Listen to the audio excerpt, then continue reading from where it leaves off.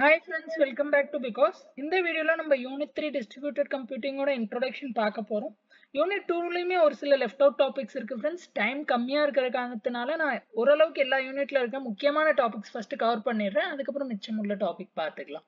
Okay so unit த்ரீல ரெண்டே ரெண்டு பார்ட்டாக ஃப்ரெண்ட்ஸ் ரொம்ப ஈஸி ஃபர்ஸ்ட் பார்ட் வந்து டிஸ்ட்ரிபியூட்டட் மியூடெக்ஸ் பற்றி படிப்போம். தென் வந்து டெட்லாக் பற்றி படிப்போம். நீங்கள் ப்ரீவியஸ் செமஸ்டரில் ஓஎஸ் சப்ஜெக்ட் படிச்சிருந்தீங்கன்னா கான்செப்ட்ஸ் எல்லாம் அதே தான் ஃப்ரெண்ட்ஸ் மியூடெக்ஸ் அங்கே ஓஎஸ்ல என்ன மியூடெக்ஸோ அதே மியூடெக்ஸ் தான். ஆனால் in terms of distributed system டெட்லாக்கும் அதே தான் ஓஎஸ்ல என்ன டெட்லாக் என்ன டெஃபினேஷனோ அதே டெஃபினேஷன் தான் இங்கேயும்.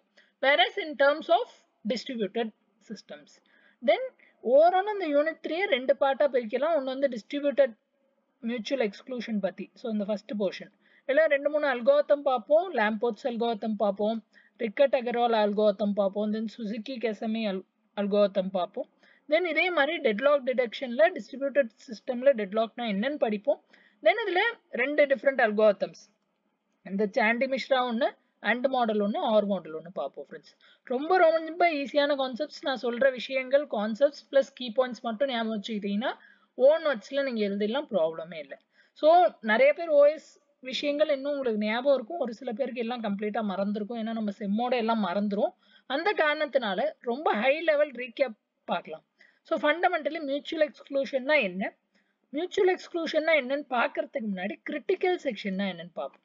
ஸோ கிரிட்டிக்கல் செக்ஷன்னா என்னன்னு ஒரு ரியல் லைஃப் எக்ஸாம்பிள் வச்சு பார்க்கலாம். ரெண்டு பசங்க இருக்காங்க. ஸோ இவர் ஒரு பையன் இவர் ஒரு பையன். இவர் வந்து ஒரு ஹோட்டலுக்கு போயிருக்காரு. ஓகே ஸோ அங்கே ஒரே ஒரு சேர் தான் மீதி இருக்கு. ஸோ ப்ராப்ளம் ஸ்டேட்மெண்ட் என்னன்னு கிளியராக புரிஞ்சுக்கோங்க. ரெண்டு பேர் இருக்காங்க. அவங்க ஒரு ஹோட்டலுக்கு போயிருக்காங்க. அங்கே ஒரே ஒரு சேர் மட்டும்தான் மீதி இருக்கு. இப்போ லாஜிக்கலி யோசிச்சு பாருங்க ஃப்ரெண்ட்ஸ் இந்த சேர்ல எவ்வளோ பேர் உட்கார முடியும் சாப்பிட?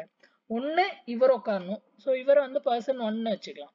ஸோ இவர் வந்து என்னோட பர்சன் ஒன் இவர் வந்து என்னோட பர்சன் டூ ஒன்று பர்சன் ஒன் உட்காரணும். இல்லை பர்சன் டூ உட்காரணும்.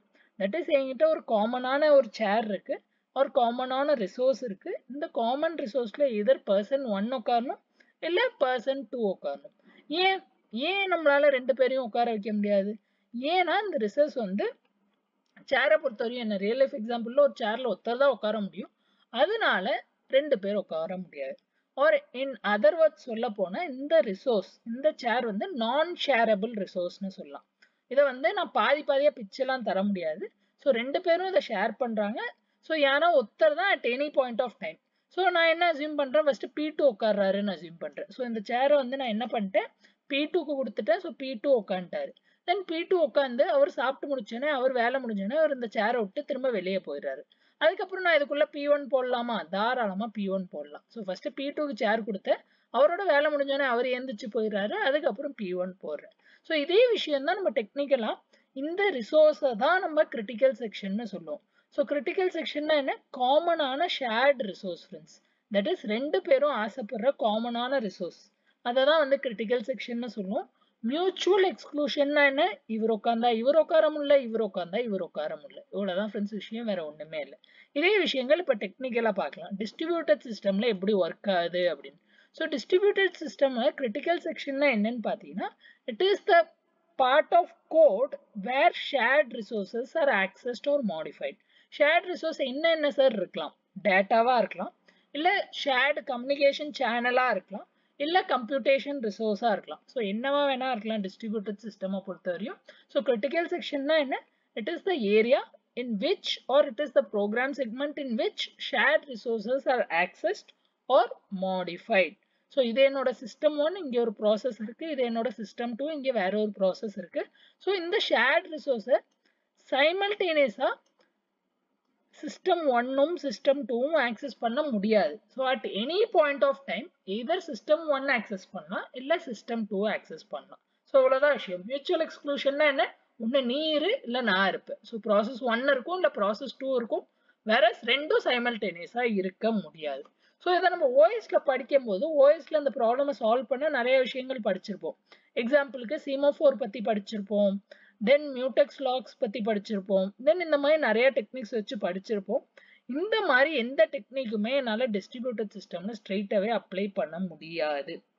ஏன்னா அங்கே நம்ம சீமோஃபோர்னு ஒரு வேரியபிள் கிரியேட் பண்ணி ரெண்டு பேரும் காமனாக ஆக்சஸ் பண்ணுற மாதிரி வச்சு சீமோஃபோரை பேஸ் பண்ணி பண்ணியிருப்போம் இல்லை காமன் வேரியபிள் வச்சு அது மேலே லாக் போட்டிருப்போம். ஸோ இந்த மாதிரி விஷயங்கள்லாம் நம்ம ஓஎஸில் பண்ணியிருப்போம் ஏன்னா ஓஎஸில் என்கிட்ட இருக்கிற ஒரே சிங்கிள் சிஸ்டம் சிங்கிள் சிஸ்டம்குள்ள மல்டிபிள் ப்ராசஸஸ் இருக்கு.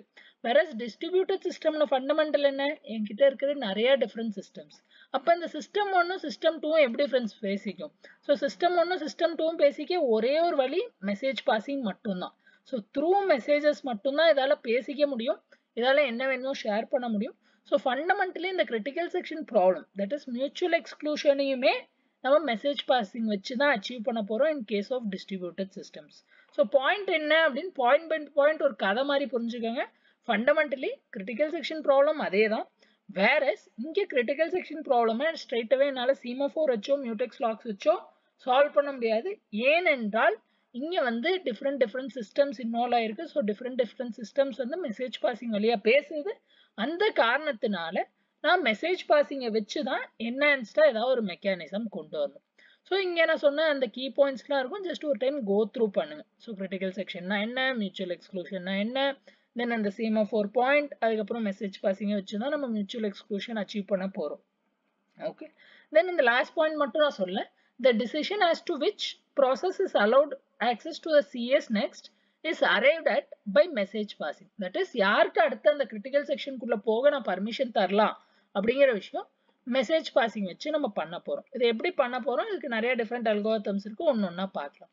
தென் ஓவராலாக பார்க்க போனோம் அப்படின்னு பார்த்தீங்கன்னா இந்த mutual exclusion that is mutex வந்து டிஸ்ட்ரிபியூட்டட் சிஸ்டம்ல அச்சீவ் பண்ண மூணு டிஃப்ரெண்ட் அப்ரோச் இருக்கு ஃப்ரெண்ட்ஸ் ஒன்று வந்து டோக்கன் பேஸ்ட் அப்ரோச் தென் நான் token based approach then last approach பார்த்தீங்கன்னா quorum based approach so fundamentally token based அப்ரோச்னா நீங்கள் சிம்பிளாக எப்படி ஞாபகம் வச்சுக்கலாம் அப்படின்னா ஏடிஎம் கார்டு மாதிரி ஞாபகம் வச்சுக்கலாம். ஸோ ஒரு ஏடிஎம் கார்டு யார்கிட்ட இருக்கோ அவங்க வந்து பணம் எடுக்கலாம். ஸோ அவங்களுக்கு பின் தெரிஞ்சால் அவங்க வந்து தாராளமாக பணம் எடுக்கலாம். இதே மாதிரி இங்கே என்ன அப்படின்னா ஒரு ப்ரிவிலேஜ் மெசேஜ் இருக்கும். ஸோ ப்ரிவிலேஜ் மெசேஜ்னா இது வந்து ஒரு ஸ்பெஷலான மெசேஜ்னு வச்சுக்கோங்க. ஒரு ஸ்பெஷலான மெசேஜ் இருக்கு. இப்போ என்கிட்ட நாலு சிஸ்டம் இருக்கு. S one S two S three S four so அந்த ப்ரிவிலேஜ் மெசேஜ் பேர் வந்து நான் கேபிட்டல் எம்னு வச்சுக்கிறேன். ஸோ இந்த டோக்கன் பேஸ்ட் அப்ரோச்சில் என்னன்னா அந்த ப்ரிவிலேஜ் மெசேஜ் சப்போஸ் எம் கிட்ட சாரி எஸ் த்ரீ கிட்ட இருந்தால் இந்த எம்ங்கிற மெசேஜ் எஸ் த்ரீ வந்து கிரிட்டிக்கல் செக்ஷனுக்குள்ள என்டர் ஆகலாம். அதே privilege message suppose S one கிட்ட இருந்தா எஸ் ஒன் என்டர் ஆகலாம். ஸோ டோக்கன் பேஸ்ல ஆக மொத்தம் நம்ம சொல்ல வர்றது என்ன? ப்ரிவிலேஜ் மெசேஜ் வந்து என்னோட ஒரு டோக்கன் இந்த token at any point of time எந்த ஒரு சிஸ்டம் எந்த ஒரு ப்ராசஸ் கிட்ட இருக்கோ அவங்க வந்து அவங்க கிரிட்டிக்கல் செக்ஷனுக்குள்ள போயிட்டு என்ன வேணுமோ எக்ஸிக்யூட் பண்ணலாம்.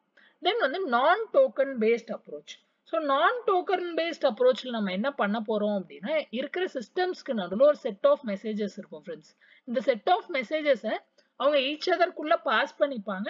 பாஸ் பண்ணிட்டு at any point of time என்ன பண்ணுவாங்கன்னா அவங்களோட ஒரு சில லோக்கல் வேரியபிளை செக் பண்ணி பார்ப்பாங்க. இதை நம்ம அல்கோத்தம் படிக்கும் போது டீட்டெயில்டாக படிப்போம். ஸோ ஓவராலாக சொல்ல போனால் ஒரு செட் ஆஃப் மெசேஜஸ் இருக்கும்.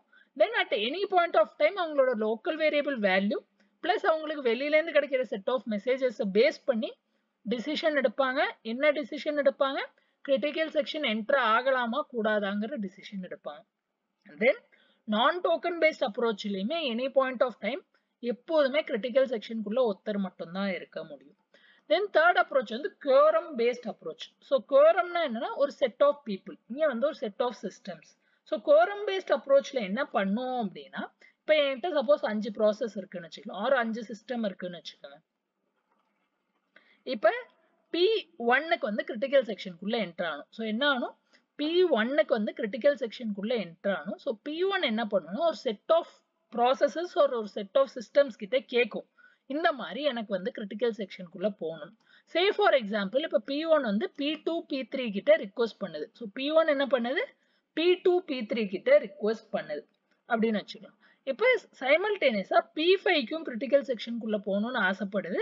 பி ஃபைவ் யார்கிட்ட ரிக்வஸ்ட் பண்ணுதுன்னு பார்த்தீங்கன்னா பி த்ரீ பி ஃபோர் கிட்ட ரிக்வஸ்ட் பண்ணுது. ஸோ பி ஃபைவ் யார்கிட்ட ரிக்வஸ்ட் பண்ணுது? பி த்ரீ பி ஃபோர் கிட்ட ரிக்வஸ்ட் பண்ணுது. பி ஒன் யார்கிட்ட ரிக்வஸ்ட் பண்ணுது? பி டூ பி த்ரீ கிட்ட ரிக்வஸ்ட் பண்ணுது. இந்த ஆர்டர்லாம் முக்கியம் இல்லை ஃப்ரெண்ட்ஸ் விஷயம் என்ன அப்படின்னா எந்த ப்ராசஸ்லாம் கிரிட்டிக்கல் செக்ஷனுக்குள்ளே போகணும்னு ஆசைப்படுதோ அது வேற ஒரு செட் ஆஃப் ப்ராசஸஸ் ஒரு வேற ஒரு செட் ஆஃப் சிஸ்டம்ஸ் கிட்ட ரிக்வஸ்ட் பண்ணுது. P one P two P three கிட்டையும் P five P three P four இப்போ போட்டி போடுறது யாரு? ரெண்டு பேர் பி ஒன் ஒன்று பி ஃபைவ் ஒன்று ஸோ காமனா இவங்க ரிக்வஸ்ட் அமிச்சதுல காமனா எந்த ஒரு நோடுக்கு எல்லா ரிக்வஸ்ட்டும் போயிருக்கு. ஸோ பி டூக்கு பார்த்தீங்கன்னா பி ஒன்னோட ரிக்வஸ்ட் மட்டும்தான் வந்திருக்கு. வேற பி த்ரீ நோடு நீங்கள் கவனிச்சு பார்த்தீங்கன்னா பி த்ரீ நோடில் எனக்கு பி ஒன்னோட ரிக்வஸ்ட்டும் வந்திருக்கு பி ஃபைவோட ரிக்வஸ்ட்டும் வந்திருக்கு. அப்போ எந்த செட் ஆஃப் நோட்ஸுக்கு எல்லா ரிக்வெஸ்டிங் நோட்ஸ் ஆர் ரிக்வெஸ்டிங் ப்ராசஸஸோட ரிக்வெஸ்ட் வந்திருக்கோ இது வந்து டிசைட் பண்ணும் யார் உள்ளே போகணும் அப்படின்னு. ஸோ திரும்பவும் ரிப்பீட் பண்ணுற ரொம்ப சிம்பிளான விஷயம். எந்தெந்த ப்ராசஸ் கிரிட்டிக்கல் செக்ஷனுக்குள்ளே போகணுமோ அது ஒரு செட் ஆஃப் நோட்ஸ் ஒரு செட் ஆஃப் ப்ராசஸஸ் கிட்ட ரிக்வெஸ்ட் பண்ணும். ரிக்வெஸ்ட் பண்ணிவிட்டு எந்த ஒரு நோடுக்கு ரிக்வெஸ்ட் பண்ணுற எல்லா ப்ராசஸரோட ஆர் எல்லா ப்ராசஸஸோட ரிக்வெஸ்ட் வந்திருக்கோ அது சிங்கிள் நோடாக இருக்கலாம் இல்லை ஒரு சில டைம் செட் ஆஃப் நோட்ஸாக கூட இருக்கலாம். ஸோ அந்த செட் ஆஃப் நோட்ஸ் சேர்ந்து டிசைட் பண்ணும் யார் உள்ளே போகலாம் அப்படின்னு. ஸோ இதோட டெஃபினேஷன் இங்கே இருக்கும். ஜஸ்ட் ஒரு டைம் கோ த்ரூ ஸோ நான் சொன்ன விஷயங்கள் இன்னும் பெட்டரா புரிஞ்சிடும் ஸோ வீடியோ பிடிச்சிருக்கு யூஸ்ஃபுல்லாக இருக்குன்னு ஃபீல் பண்ணிங்கன்னா மறக்காமல் லைக் பண்ணிடுங்க ஃப்ரெண்ட்ஸ் கூட ஷேர் பண்ணலன்னா ஷேர் பண்ணிடுங்க தென் கம்மிங் வீக்ஸில் நம்ம இம்பார்ட்டன்ட் கொஷின் பார்க்க போகிறோம் ஸோ சேனலை மறக்காமல் சப்ஸ்கிரைப் பண்ணிடுங்க தேங்க்ஸ் பை